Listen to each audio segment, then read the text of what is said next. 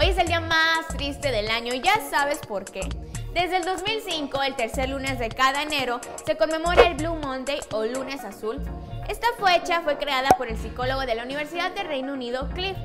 Él dice que al unir el clima tan extraño de estos días, el darte cuenta que ya acabó la Navidad, las deudas que te dejó esto y que ya inició el año y aún no empiezas ninguno de tus propósitos, te hacen sentir una especie de depresión.